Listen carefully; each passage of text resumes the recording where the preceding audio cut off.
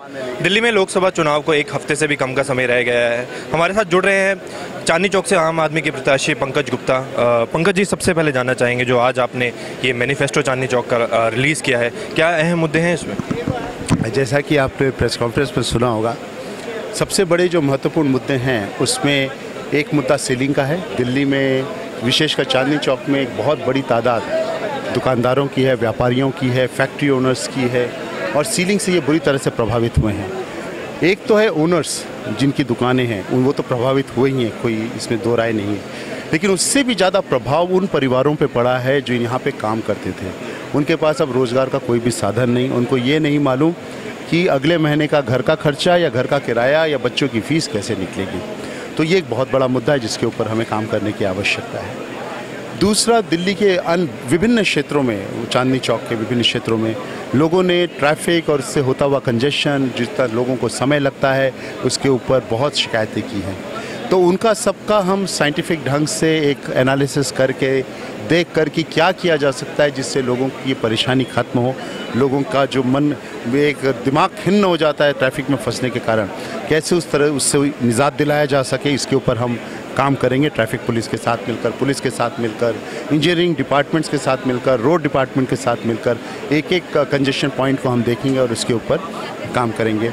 तीसरा बड़ा मुद्दा है पार्क्स अगर आप देखें तो शालीमार बाग, मैं पीतमपुरा में रहता हूँ, जो कि शालीमार बाग का एक हिस्सा है, और शालीमार बाग नाम के नाम से ही है कि यहाँ बागों की बागों की दुनिया बसती है। इतने बाग हैं वहाँ पर। लेकिन अगर आज आप उन बागों को देखें तो उनकी बहुत दयनीय स्थिति है।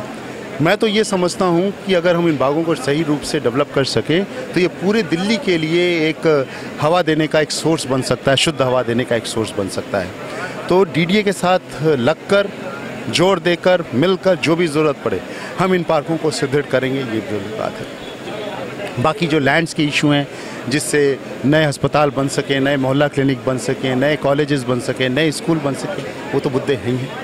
काफ़ी समय से रोड शो भी कर रहे हैं आप बीजेपी के भी, जो प्रत्याशी हैं, कांग्रेस के भी। कंपटीशन को कैसे देख रहे हैं? जो बीजेपी से हर्षवर्धन है, कांग्रेस से जेपी अग्रवाल है किससे ज़्यादा बड़ी चुनौती मिल सकती है आप? मैं ये समझता हूँ कि जो मैं पिछले अब पाँच सात दिनों में देख रहा हूँ, मुझे लगता है चुनौती लगभग खत्म हो चुकी है।